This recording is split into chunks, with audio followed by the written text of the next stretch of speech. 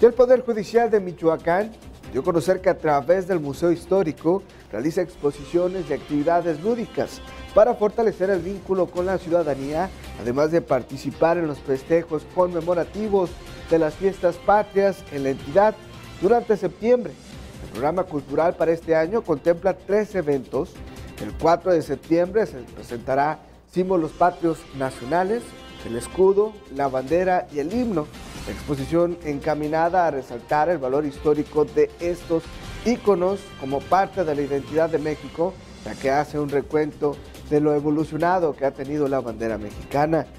En tanto, se realizará la exhibición El arte de cerería, imágenes y pasajes, que estará disponible en un espacio museístico de 11 de septiembre de 2018 al 18 de enero del 2019 se trata de una exhibición de 25 piezas elaboradas con cera que dan cuenta de algunos pasajes de la Iliada, tradiciones nacionales y otras más de corte religioso.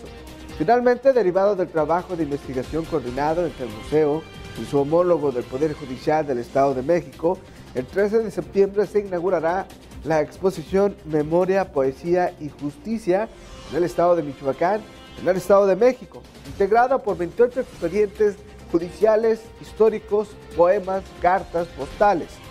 y fotografías.